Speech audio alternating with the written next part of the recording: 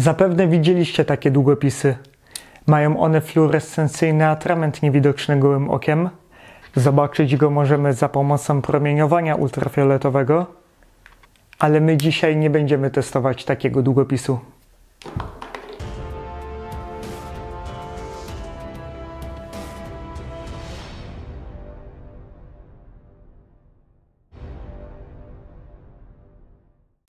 Cześć! Świecenie ciał, które nie jest wywołane ich rozgrzaniem, nazywa się luminescencją. Jednym z rodzajów luminescencji jest fotoluminescencja. Jest to emisja fal z ciała, na które świeciliśmy światłem, wliczając w to podczerwień i właśnie ultrafiolet. Fotoluminescencję dzieli się na fosforescencję, jeżeli nasz obiekt świeci jakiś czas po usunięciu czynnika wzbudzającego – i luminescencję, jeżeli świeci jedynie podczas naszego wzbudzania go do świecenia. I to właśnie luminescencji się dzisiaj przyjrzymy.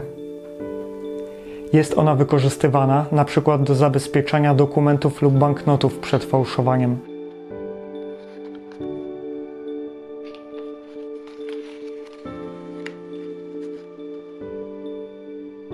Składniki ze zdolnością do fluorescencji dodawane są do proszków i odplamiaczy, aby optycznie wybielić nasze ubrania.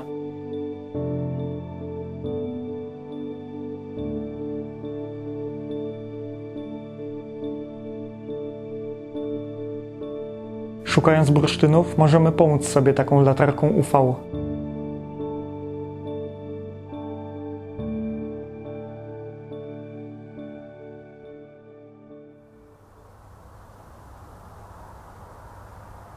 Żwica, tak jak bursztyn, świeci bladym, żółtym światłem.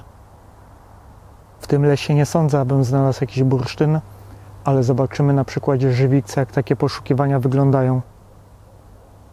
Tutaj mamy jej kawałek. Mimo, że jest taki mały, to z daleka z łatwością go dostrzec.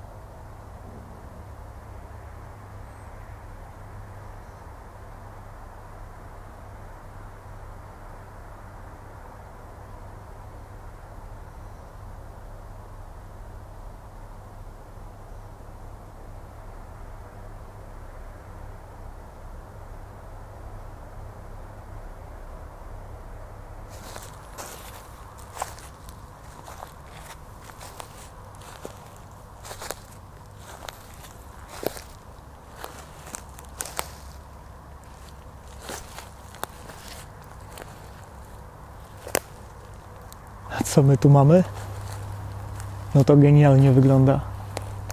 Jakby się paliło, a raczej żarzyło.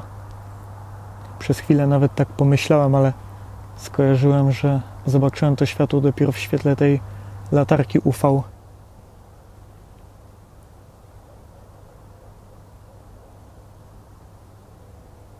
Wygląda widowiskowo, ale mam obawy, że to nie jest nic ciekawego.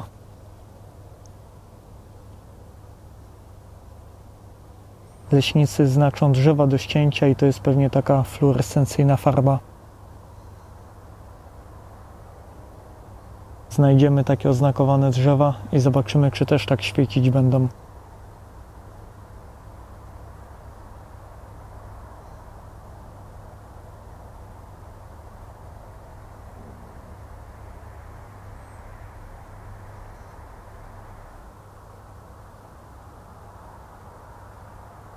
No i właśnie to miałem na myśli.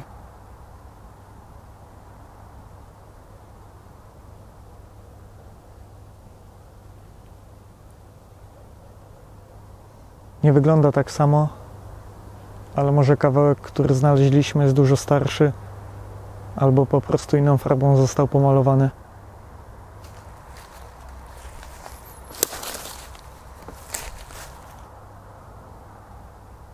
To nie jest żywica.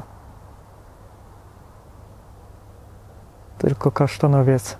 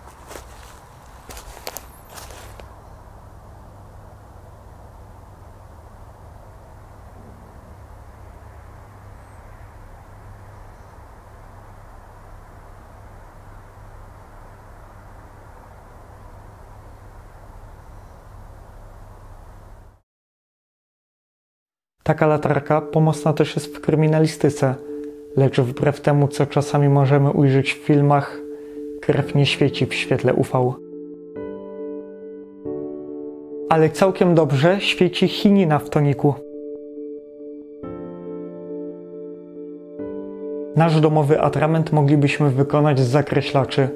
Należałoby rozpuścić je w wodzie, aby barwnika nie było widać na papierze.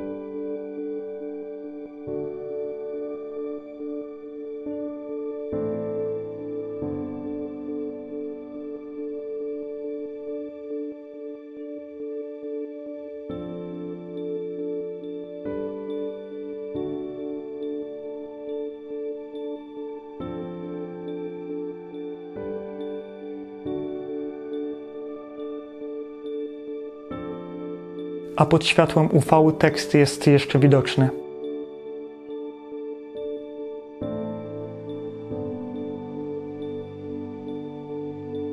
Ja posłużę się odplamiaczem, nie będzie go widać. Nie musimy rozcieńczać go w wodzie, więc jego późniejsze świecenie też będzie wyraźniejsze.